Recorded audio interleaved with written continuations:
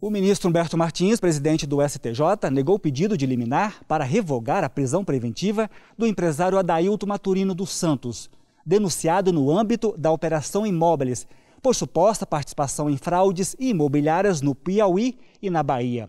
De acordo com as investigações, o acusado formaria o núcleo jurídico da organização criminosa e seria o responsável por articular com o magistrado do Piauí fraudes em processos cíveis e especialmente em ações de revisão de contrato, com a substituição de bens dados em garantia. O ministro Humberto Martins entendeu que o acórdão do TJ da Bahia demonstrou a necessidade de preservar a ordem pública e garantir a aplicação da lei penal. O mérito do habeas corpus será analisado pela quinta turma do STJ.